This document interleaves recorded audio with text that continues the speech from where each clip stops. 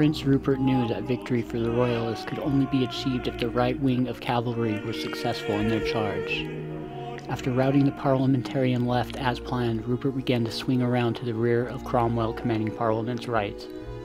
However, the baggage train of supplies and camp followers for Parliament blocked their route, essentially taking Rupert off the field of battle. The Royalist infantry, which initiated in concert with Rupert, was fighting well. Cromwell sent his second line of reserves into action early to compensate for how well the Royalist horse performed on the other side of the field. The left wing of Cromwell's opponents sent in their reserves too late, and the Royalist left was routed. Fairfax, who was unengaged, performed an essential move of advancing behind the enemy, and thus sealing any route of escape for the king's infantry. The remnants of Parliament's left horse gathered and joined the dragoons, who were previously deposited as snipers against Rupert's initial charge.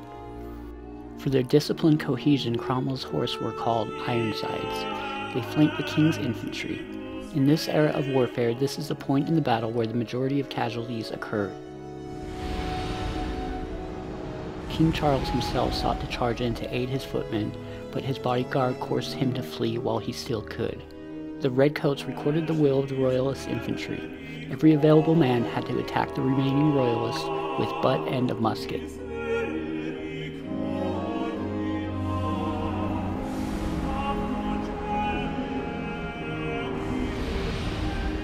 After four years of civil war, infantry was a rare commodity. King Charles was now without an army after the Battle of Naseby. He was doomed to roam the countryside as a fugitive.